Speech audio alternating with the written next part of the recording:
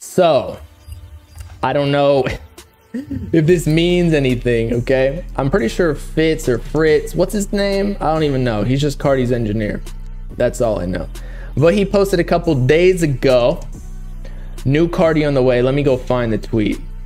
I didn't talk about this because I just, I was like, this isn't even real. Like what, how many times, this is like Whole Lotta Red all over again, where like literally every time they say something, it's almost like when Uzi said he's retiring because he said it so many times, like you just don't even believe it at this point, but look at that. Okay. New Carti. Fritz Owens says, now, Carti did technically say it on his Instagram story after the Travis Scott. What did he say? Like, new shit on the way. Like, it ain't. I don't even know what this means anymore. I really don't. Like, is he dropping now? Like, I feel like he just premiered the new sound. Now, some people are like, yo, the rollout starting. And, and I get it because the Whole Lotta Red dropped soon after Flex Up when he showed everybody what he was working on, I guess, like the new voice for a Whole Lotta Red. But I don't believe it. I don't believe it. Deep voice speaking.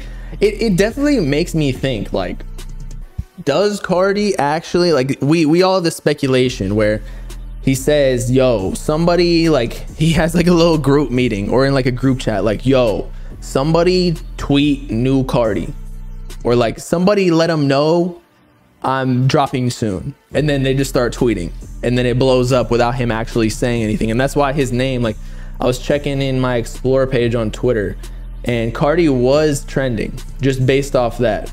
It's not here anymore, but still. Because Angus, oh, by the way, RIP Angus Cloud.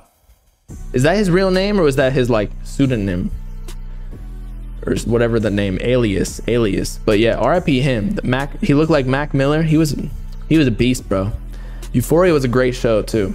Have i heard about a rapper? I'm not even gonna say that name because what the hell? Every single little tiktok video that i see of like yo i made this song three months ago and like this person stole my bars word for word bar for i'm like dude shut up.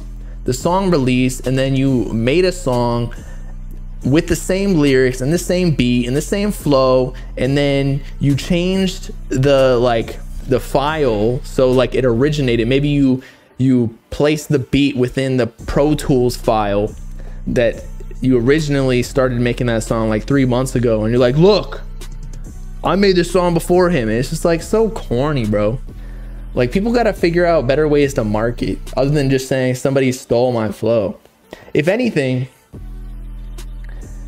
stealing your flow really isn't even like a big I feel like a lot of rappers use each other's flow. Like SZA on Utopia used a Drake flow on one part in her song Telekinesis, I think, or tele yeah, I think that's what it's called. And I noticed it, and I'm sure somebody did, but you don't see even Drake going on there and being like, yo, give me my publishing like as a songwriter or whatever. Like it's kind of just a, a, it's paying homage, similar to the Barter 16 that Uzi's dropping for Young Thug. It's like, yo, I like your flow so much. This is me appreciating you. Most people won't catch on to it, but like you'll know it, and like your diehard fans will know it. And then they deleted their comment. Look at that. Look at that. I saw it. Crazy. You missed the old Bob. What the fuck does that mean? I'm still here. I'm still chilling. What does that even mean? I'm still new. I haven't even gotten to a point where like, oh, he can change. Like once I get it, once I get to a million, y'all can start saying like, oh, he like sold his soul. He he's doing it all for the money or whatever. Then you can start talking all that bullshit. But like I haven't even made it necessarily. Like I think I made it because I definitely make a lot of money from my my following or whatever but uh appreciate y'all for that but like no we're we're still we're still underground in a way not in the sense of like soundcloud rapper type shit but like what i got like 300,000 subscribers total like that's that's that's nothing compared to some of these other people we're not mainstream yet no no no i don't have a problem with carti sounding like future nah I don't think he sounds like Future. I feel like He's doing his own voice. Just because it's a low voice doesn't necessarily mean it sounds like Future. Like when I first heard it, I heard like Homixide Gang, which is one of his artists. So they might have been inspired by him or he inspired by uh, the other way around, vice versa.